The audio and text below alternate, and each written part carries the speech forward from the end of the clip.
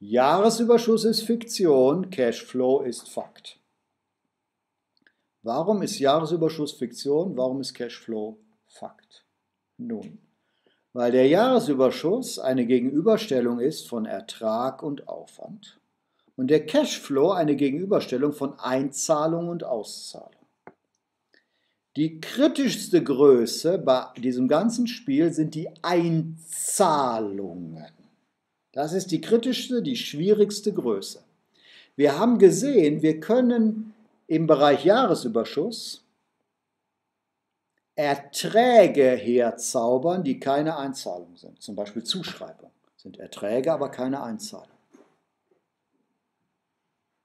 Aber Einzahlungen zu produzieren bedeutet, oder sagen wir es anders, im Rahmen des Jahresüberschusses kann ich also Erträge herzaubern, ohne in Interaktion mit irgendjemand zu gehen. Die kann ich buchhalterisch erzeugen.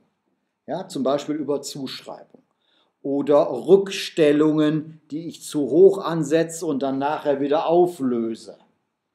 Kann ich buchhalterisch ohne Interaktion mit anderen Menschen Erträge erzeugen.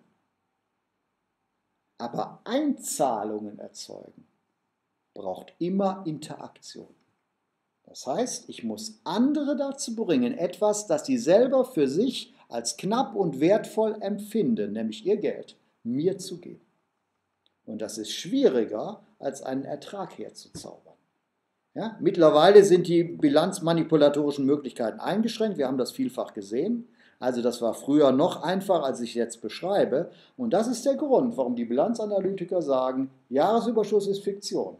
Ja, da sind viele Zaubertricks dabei, aber Einzahlung zu erzeugen bedeutet, in Interaktion zu gehen, am Markt präsent zu sein, am Markt Vorteile zu bieten, also unternehmerische Qualitäten zu zeigen und nicht buchhalterische äh, Tricks. Die andere Größe Auszahlungen, da brauchen wir nicht drüber zu reden, das kann jeder Trottel. Ne? Auszahlungen produzieren kann jeder, aber Einzahlung produzieren. Ja, Kunden dazu bringen, das Produkt zu kaufen und auch zu bezahlen, das bedeutet unternehmerische Qualität und nicht buchhalterische Trickserei. Das ist der Hintergrund dieses Zitates.